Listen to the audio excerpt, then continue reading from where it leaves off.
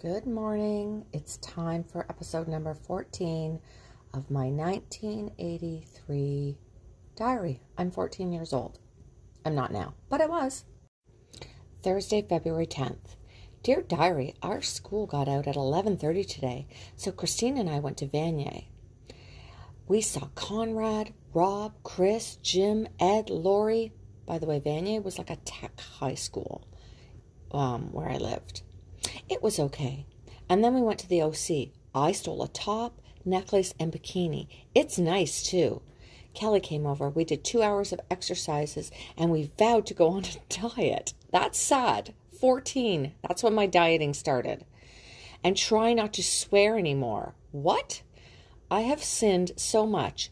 I pray that the dear Lord will forgive me. Okay, I was not religious. Um, Sorry for the religious people, but I just wasn't. I am terrible. I might go to church Sunday. Oh yeah, Cam came back today. He called around 8:30. He couldn't cross the border. He has a criminal record. I'm glad. well, good night. I'm sorry. That's mental. oh my god. Friday, February 11th. Dear Diary, I'm the happiest person in the whole wide world. Tonight, Scott, Chris, Jim, Liz, Kelly, and me were all at my house drinking. Me and Chris took acid. Oh, good Lord. It was great. At the dance, I talked to Rich for about an hour. He still likes me a lot. And then we danced, and he kissed me about three times. Then I danced with Terry Kay. He told me to wait for him after the dance, but he left with that slut, Tara McNeil. when I was dancing with Terry, Rich got up and left, mad. Also, Cam, Leslie, and Dave all came down, but I just left them standing there. Oh well, I love Rich so, so much. Good night. Let's talk about that a little bit with my pumpkin spice candle at 5:55 a.m.